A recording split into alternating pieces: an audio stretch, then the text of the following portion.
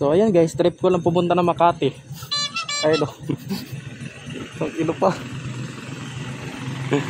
oh, di ba? Nagpapasalamat ako nakarating ako dito. Oh, di ba? First time booking tayo. Ang dami ditong booking, guys. Dami as in. So, dito tayo mag-ikot-ikot. So, let's go.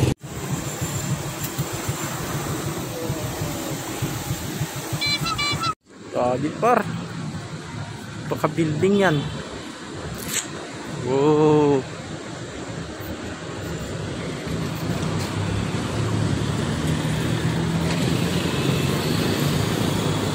Grabe yung building yan par. Grabe naman yun. Ayala Mall guys. Oh, Ayala Mall. So, nandito tayo sa Grab to Go par. Yan, Grab to Go. So, may pipick upin tayo dyan. SM City Novaliches guys.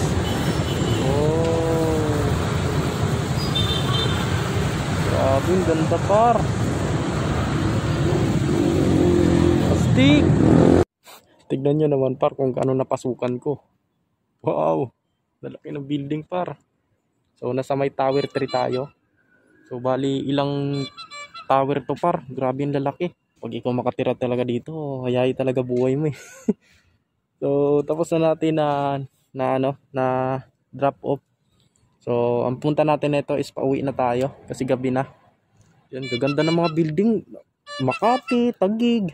Nakapunta na ako par, tas dito din. Gaganda. O, di ba? Napaka-jackpot naman ng uma- ano natin ng araw na to.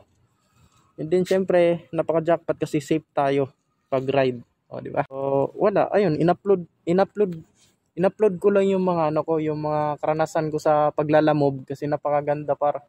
So, ito yung gusto ko, mga excite, yung magagandang lugar, magagandang building. So, saan ka pa, di ba? Just may marimar na yun, napakaganda.